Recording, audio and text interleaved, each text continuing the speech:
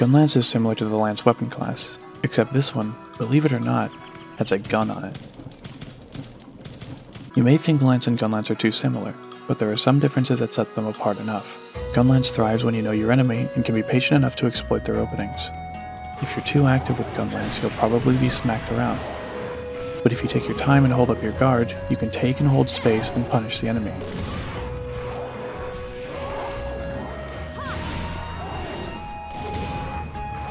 Like Lance, Gunlance is a very slow weapon while unsheathed. Unlike Lance, you do not have access to three consecutive back hops, though you can still make the back hop longer by holding backwards on the analog stick while doing it. Along with Lance, Gunlance has the best guarding in the game, and as long as you have the stamina for it, you can be mostly safe as long as your shield is up. Pug. There are gun lances with all elemental and status ailments except for sleep. All gun lance attacks deal cutting damage, unlike lance which will deal cutting or impact damage, whichever is more effective. And of course, gun lance also has a shelling component, which ignores hit zones and deals damage similar to how bombs work, though this will drain your sharpness rather quickly. It also deals fire elemental damage. Gun lance is a very fun weapon, but may not be great to start with due to its complexity, though you shouldn't let that discourage you from trying it out. That being said, I encourage you to experiment. If gun lance isn't working for you, pick a different weapon. There are 12 weapon classes to choose from, 9 melee and 3 ranged. Try them all. I won't be going into many advanced mechanical calculations in this video. This will be more for beginner and maybe some intermediate knowledge. Gun lance has a similar combo structure to Lance, though has many branching paths and options it can do from any given moment. Blocking with the shield will not drain your weapon's sharpness, just like with the lance, since you're not blocking with your weapon like you are with greatsword. The weapon and armor I'll be using can all be bought from the equipment shop next to the smithy across from the item shop. Let's go over the attacks first and I'll talk more about them afterwards during a hunt with Great Jaggi. Motion values or MV will be displayed up here and are the damage of that attack.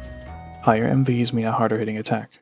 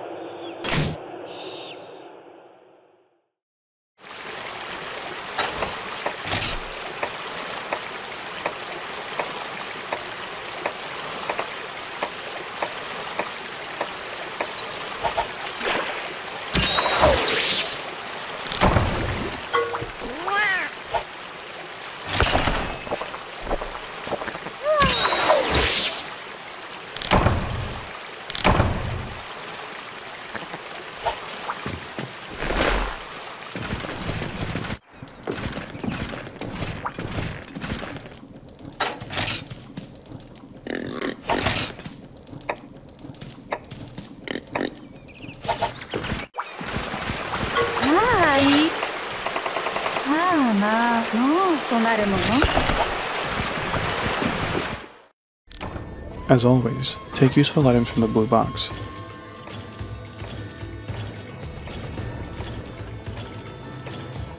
Great Jaggi should start in Area 5. We can get there through the shortcut and camp to Area 7.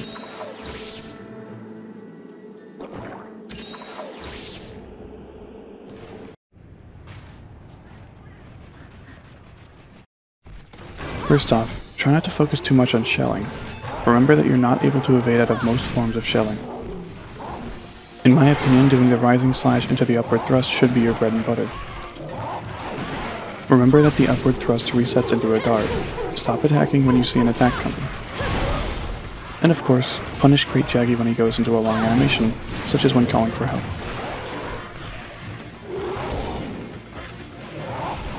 Using the lunging up thrust as a mobility tool is very useful.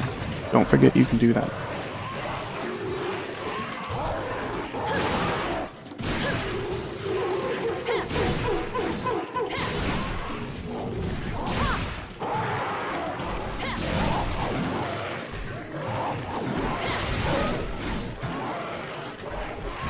Sometimes it's smart to play slow and use your shield as cover, but if you need more mobility, don't forget to sheath so you can run around.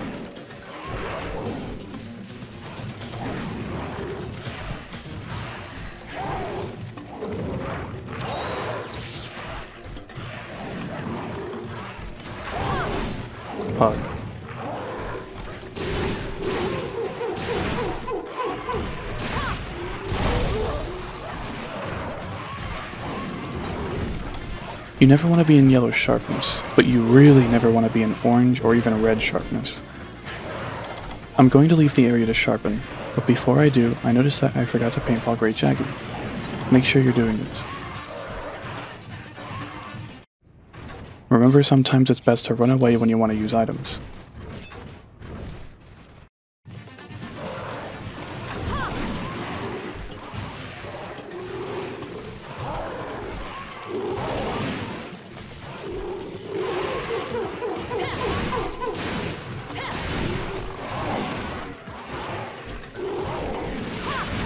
Great Jaggi just looked away from me. Monsters usually don't turn their back to you, so it must mean that it's leaving the area. Being aware of these kinds of things is important in the long term.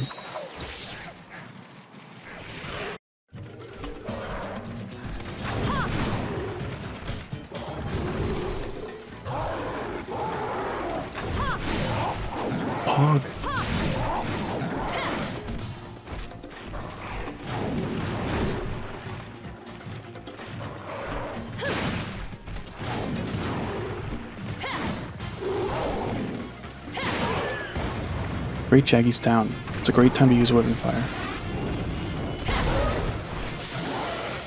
If you miss a Wyvern Fire, it's not the end of the world. It's a nice chunk of damage, but you can make up for it pretty quickly. Don't sweat it.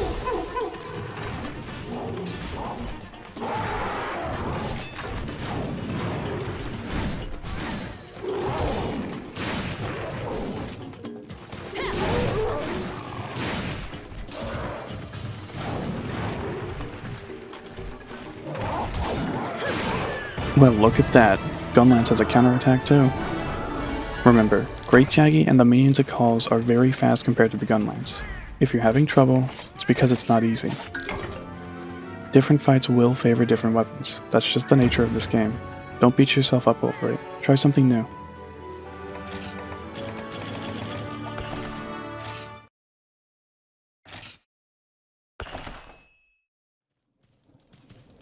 I recommend you hunt Great Jaggi a few times and make his full armor set, and upgrade your gunlance to the Striker's gunlance. It will be arguably the best weapon and armor at this point in the game and will set you up for success. Take your time. Be patient with yourself. If you like how Gunlance plays or looks, but you're the one getting blown away, just stick with it. You'll get the hang of it eventually. Until next time.